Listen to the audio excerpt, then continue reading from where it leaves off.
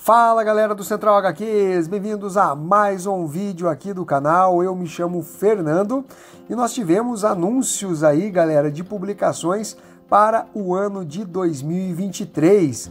Com exclusividade, galera, eu vou mostrar aqui alguns materiais que a Alta Geek, que dentro do universo dos quadrinhos é basicamente uma novata, mas por conta de toda a sua experiência com livros, já chegou com o pé na porta, trazendo grandes nomes dos quadrinhos mundiais. E eu vou mostrar aqui para vocês com detalhes algumas das publicações que vão chegar aí nos próximos meses. Além da Alta Geek, a gente tem também a editora Pipoca e Nanquim, que inclusive fez uma live, né? Eu assisti parte dela com lançamentos que meus amigos são de cair o queixo. Aliás, a editora Pipoca e Nanquim vem fazendo jus aos sucessivos prêmios de melhor editora que ela ganhou no HQ Mix, né? Bom, mas vamos começar aqui com essa news da Alta Geek, que já vem anunciando um novo trabalho do Jason Aaron em sua estreia pela Boom Studios. Não é dito aqui qual é a publicação, mas se você pesquisar você vai descobrir. De qualquer forma, é, Jason Aaron é um grande escritor. Tudo bem que atualmente ele vem fazendo uma bagaceira lá no título dos Vingadores, mas a gente tem publicações como Scalpo, que é sensacional. O Thor dele eu considero uma das melhores fases do personagem em todos os tempos. Eu tô com uma expectativa boa aí dessa publicação da Alta Geek. Aí nós temos esse outro material, galera, que é da série Battle que é organizada por Garfienes. É uma série aí de publicações que envolvem a Primeira e Segunda Guerra Mundial, coisa que o Garfienes adora, e essa série inclusive é chamada de Tesouro dos Quadrinhos Britânicos, o maior arquivo do mundo de quadrinhos em língua inglesa. E aí nós vamos ter, né, agora Sniper Elite A Resistência, que já vai estar tá chegando aí em pré-venda no site da Amazon. Ó, a Battle o, foi criada em 1975 e é o marco dos quadrinhos britânicos. Nós vamos ter ainda o volume 2 de Blade Runner Origins. Eu fiz a resenha uh, dentro do quadro Central Resenhas, junto dos apoiadores, comentando né, a primeira edição e foi um material que particularmente me chamou a atenção. Bem feito, se passa 10 anos antes do filme, né? Que se tornou um clássico cult. Uh, então nós temos aqui realmente uma obra que faz parte né, do universo cinematográfico do Blade Runner. E aí nós temos aqui lançamentos para fevereiro, no caso Gatilho Maldito, com essa belíssima arte de capa, A Dolorosa Jornada de Shabod Azrael, de Robbie Williams e Don Riordan. Que nominho, hein? Uh, temos aqui Arca Negra, do Kalimban com o Juan Doi, que já, eu já havia falado sobre essas duas publicações anteriores, e aqui o Blade Runner Origins, a parte 3. Então a editora Alta Geek ela já está né, lançando as continuações das séries que ela começou no ano passado. Então já temos o volume 2 já chegando e o volume 3 previsto ainda também para fevereiro. E aqui no forno, que são os lançamentos para março, nós temos Maníaco de Nova York, de é, Eliot Calan, e temos também Kali, que é uma publicação inspirada em Mad Max e John Wick, só que com coxas grossas. Gostei da definição aí. Então, galera, essas são as próximas publicações da Alta Geek que promete muito mais, galera, em 2023. Bom, agora vamos seguir com a editora Pipoca e que fez anúncios numa live, como eu já disse, para o ano inteiro de 2023. Pode ser que entre ainda alguma surpresa ou outra, tem um cronograma, mas pode mudar de, coisa, de acordo com as circunstâncias. Mas eu realmente fiquei assim impactado com a, quantidade de anúncios e a qualidade dos materiais que a editora Pipoca e vai trazer para o Brasil em 2023. Então vamos seguir aqui, galera, com o mês de janeiro, publicação que já está em pré-venda no site da Amazon, que é Infiel, é uma publicação considerada aí um marco do terror recente dentro dos quadrinhos. Confins de um Sonho, de Yumi Sudo, publicação que já está em pré-venda no site da Amazon, trata-se de um mangá de volume único, a pré-venda vai até 24 do 2. Conan o Cimério, edição definitiva, volume 3, que também já está em pré-venda no site da Amazon. A previsão uh, de pré-venda até 28 do 2. Eu já fiz a resenha do volume 1, esse daqui é o Conan da Glenar, tá? Então são histórias por autores europeus né, em relação ao Conan. E nós temos uh, um material que entrou recentemente em pré-venda, inclusive foi no mesmo dia que a Pipoca Nankin fez lá a live, que é Na Mente de Sherlock Holmes, de Cyril Lieron e Benoît Dahan. Não sei se essas são as pronúncias corretas dos nomes, que está prevista também para fevereiro. E galera, eu dei uma olhada nas páginas desta publicação e a arte é espetacular, os layouts, a, a criatividade na elaboração das páginas é algo realmente que você não vê com frequência dentro dos quadrinhos. Eu achei um trabalho artístico maravilhoso nesse material na mente de Sherlock Holmes. Para o mês de março, nós temos Dismorphos, do Junji Ito, que é talvez o autor mais publicado atualmente no Brasil, e a editora Pipoca Nankin vai lançar basicamente Ito mensalmente nesse ano de 2023, a partir de março. Então nós temos uh, ainda em março Cães, da Kim Suk Gendrikin, que é uma autora coreana, então é um manhwa, né? ela é famosa por Grama aqui no Brasil, além de outras publicações. Temos também o último Ronin, da dupla criadora das Tartarugas Ninja, também um material aí previsto para março. Particularmente eu nunca ouvi falar desse material aqui. Uh, dando sequência aqui com Junji Ito, né, a mensal dele, basicamente, é Contos Esmagadores, com essa belíssima arte de capa, prevista para março. E em abril nós temos O Voo do Corvo, do Jean-Pierre Gibrat, que é o mesmo autor nossa, me fugiu o nome da publicação agora, estava na ponta da língua, que o Pipoca Nankin lançou, é, aquela história que se passa durante a Segunda Guerra Mundial, é, numa pequena vila da França e tal. O cara faz de conta que morreu, e aí ele tem uma namorada na vila e tal. Uh, é um material realmente muito legal. Uh, eu espero que o voo do Corvo mantenha o mesmo padrão de qualidade e eu acredito que mantenha, né? No mês de abril ainda nós temos o estranho conto da Ilha Panorama, do Suehiro Maru. Uh, feliz de ver aqui novas publicações desse mangaká chegando ao Brasil. E aqui nós temos talvez um dos melhores, se não o melhor anúncio de 2023 da editora Pipoca Nankin, que é Blueberry, do Jean-Michel Charlier e Jean Giraud, que é o Moebius. Galera, publicação que está prevista para abril e agosto. Mas nós teremos mais volumes de Blueberry é, do Moebius em 2024. Mortos de Amor do Junji Ito, previsto também para abril. E esse daqui também me surpreendeu bastante, galera, que é Verões Felizes, edição integral do Zidrou e do Jorge Lafebre. A publicação saía aqui no Brasil pela SESI São Paulo. Foram lançados três volumes eu fiz a resenha dessa publicação aqui no canal. É um trabalho realmente muito legal, lindamente desenhado pelo Lafebre. Então, ah, uma publicação que o Pipoque Nanquim agora assumiu os direitos, né? E deve lançar até outros materiais aí vinculados aos, aos autores. Então, galera, nós temos aí é, uma chance da editora Pipoque Nanquim pegar aí talvez outros materiais da SESI São Paulo que ficaram em abertos. Quem sabe Valéria, né? Seria interessante. Faltam apenas dois volumes para concluir Valéria aqui no Brasil. E temos também Black Sad, mas essa publicação ela sai meio a conta gotas lá na Europa e, salvo engano, a SESI São Paulo já alcançou a publicação europeia.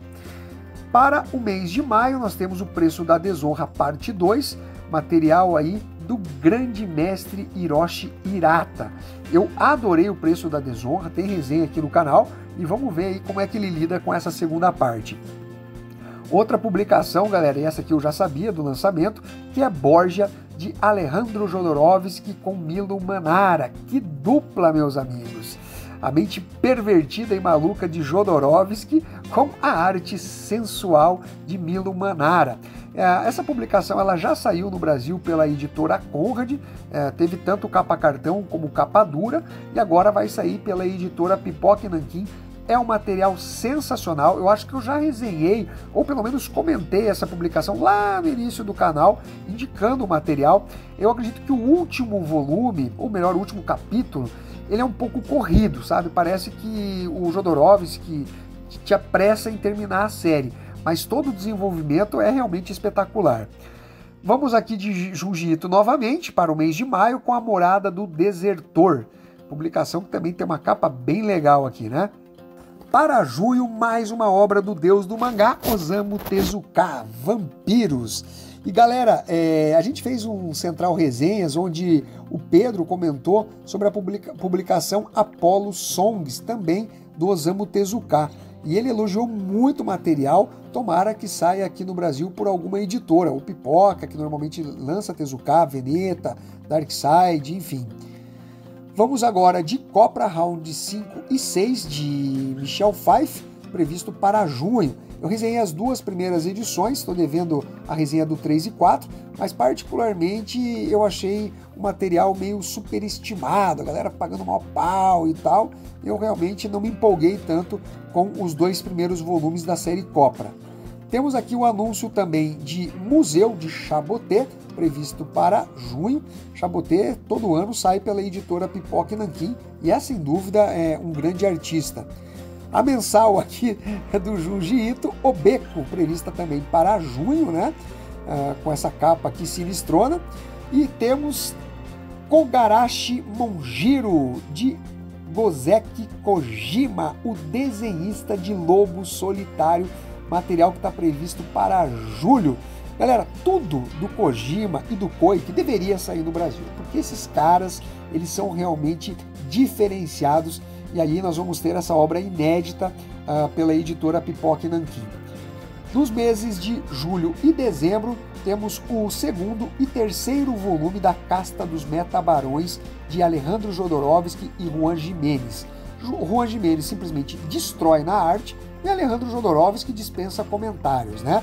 O volume 1 ele já está uh, ah, à venda no site da Amazon, inclusive já está sendo entregue aí para quem comprou a edição. E eu considero, galera, a Casta dos Metabarões melhor do que Incal. Eu sei que muita gente torce o nariz quando eu falo isso, mas é a minha opinião. Eu realmente é, acho a história da casta dos metabarões mais sensacional. Assim, eu realmente acho um trabalho magnífico feito pelo Alejandro Jodorowsky. Para quem não sabe, a casta dos metabarões é um spin-off da série é, Incal. Inclusive tem vários outros spin-offs aí, como Tecnopapas, que também devem vir pela editora Pipoca e Nanquim nos próximos anos. Temos aqui Drácula de Roy Thomas e Esteban Maroto, previsto para julho. Eles que já fizeram dupla em outros trabalhos. Roy Thomas dispensa comentários, né? É, já escreveu todos os títulos Marvel, além do, da fase clássica do Conan. E o Esteban Maroto, que já teve várias publicações também pela editora Pipoca Nanquim e tem uma arte fabulosa. A, a outra mensal aqui do Jiu-Jitsu para julho são as esculturas sem cabeça.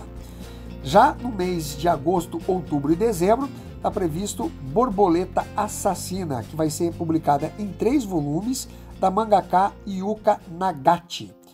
Tem belas capas aqui a publicação. Para o mês de agosto, Combate Cotidiano, edição integral de Manu Larsenetti, que é autor do relatório de Brodick, que eu considero uma das melhores publicações já lançadas pela editora Pipoca e Nanquim. E olha que o catálogo dos caras é vasto. Então estou bem curioso para conhecer um pouquinho dessa nova obra desse artista.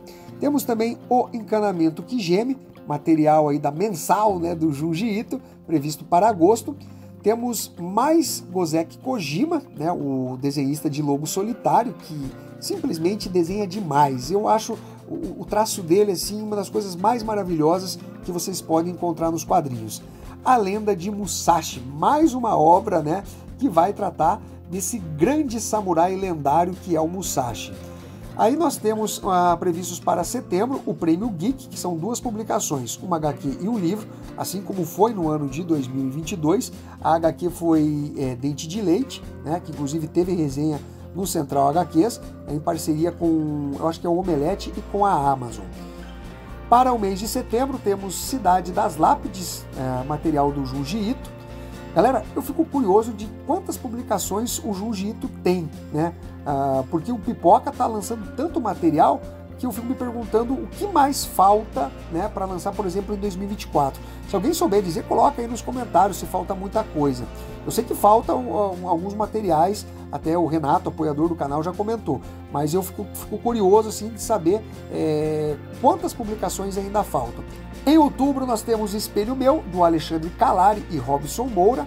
Eu já resenhei algumas publicações do Robson Moura e o Alexandre Calari com sua segunda HQ, ele que uh, escreveu a obra Arena, e eu particularmente gostei bastante da publicação, entrou para minha lista dos 10 melhores quadrinhos nacionais do ano, até por conta da temática a qual eu me identifiquei. E aí no mês de outubro nós temos Zona Fantasma, também do Junji Ito, com essa capa bem legal aqui também, olha só. As capas do Junji Ito são bem chamativas, né? Mandala de Fogo para o mês de novembro, do Shia Shimomoto. É, particularmente não conheço esse mangaká. E aí nós vamos ter para novembro Beast of Burden Território Ocupado, série que já venceu vários prêmios Eisner, do Ivan Dorkin com o Ben Dewey. Super Punk, novo trabalho do Guilherme Petreca ao lado de Mir Santana, previsto para novembro. Guilherme Petreca é um desenhista de ogiva, com roteiros do Bruno Zago e também autor de Shamisen, é, A Cidade do Mundo Flutuante, alguma coisa assim, que teve resenha no canal e entrou para minha lista no ano que foi lançado como é, uma das melhores publicações nacionais. Um trabalho fabuloso mesmo. E aí nós temos Visões Distorcidas, que é um artbook, é o primeiro artbook lançado pela editora Pipoca Nankin. Tomara que venham, venham mais, né? Material aí que vai focar no trabalho de Junji Ito, também previsto para novembro. Em dezembro nós temos Hey Cool de Robert Howard, o criador de Solomon Kane e de Conan o Bárbaro. Então essa é a previsão para dezembro. Isso aqui deve seguir o mesmo padrão dos livros, né? Ah, já lançados pela editora Pipoque Nankin, que tem um acabamento gráfico realmente de excelência. Basicamente, galera, essas são as publicações que foram anunciadas pela editora Pipoque Nanquim. Eles até falaram na live que pode ver, haver alguma mudança né, com relação à data dos lançamentos, mas basicamente esse seria o cronograma. E também pode ser que eventualmente surja aí uma surpresa, uma novidade no mês de, é, de 2023 que não foi anunciado ainda nessa live. Bom, galera, então é isso daí. O que, que vocês acharam dos lançamentos, tanto da Alta Geek, que apesar de estar começando, já tem publicações realmente bem interessantes de artistas renomados e essa avalanche de anúncios aí da editora Pipoca Nankin para 2023. Os caras estão simplesmente surfando na crista da onda, mostrando como se publica quadrinhos aqui no Brasil. Bom, então é isso daí. Um abraço para todos vocês e fui!